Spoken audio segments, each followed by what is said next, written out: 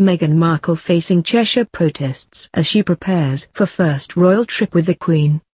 The Queen and the Meghan Markle will visit Cheshire next week for a series of official engagements and while it expected they will be warmly greeted by hundreds of royal fans, one local group have revealed they plan to protest the royal visit.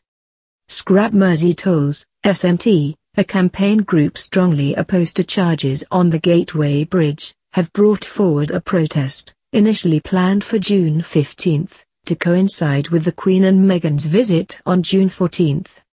Her Majesty will be officially opening the Mersey Gateway Bridge as well as the newly renovated Story Theatre during Meghan's first official visit to Cheshire.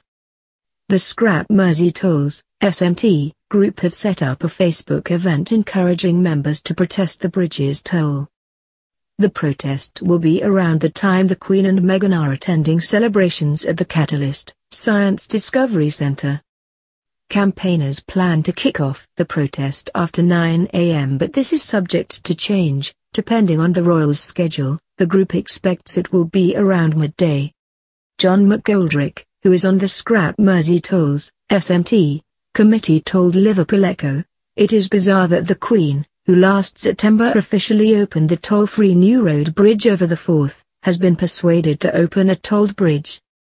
Part of the toll's plan is to also put a toll on the Silver Jubilee Bridge. A bridge that was officially opened in 1961 by Princess Alexandra, the Queen's first cousin.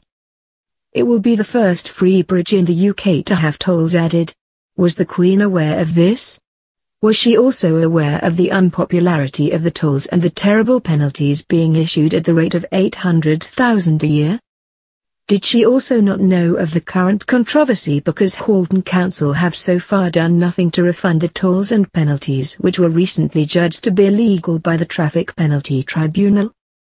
We do not know the answer to those questions, but in any case we have brought forward to the 14th a protest that by coincidence we were planning to have on Friday 15th. The protest comes after an anti-toll campaigner with the group sent a letter to the Queen to respectfully beseech the royals to reconsider their visit. The campaigner said there was no cause to celebrate the upset and hardship that has been caused by the bridge being tolled. Extracts from the letter shared on Facebook on Monday said, I am deeply saddened to have just read that you and the Duchess of Sussex will be coming to officially open the Mersey Gateway Bridge on Thursday, June 14.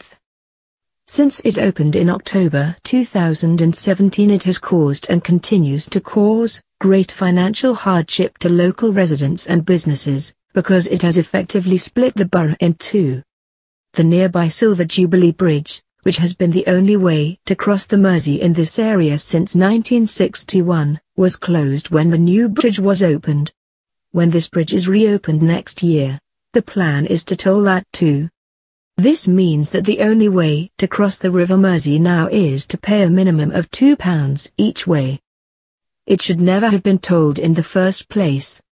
Signing the letter I have the honour to be, Madame, Your Majesty's humble and obedient servant, the campaigner added, certainly there is no cause to celebrate the upset and hardship that has been caused by the decision to charge the people of your realm in this way.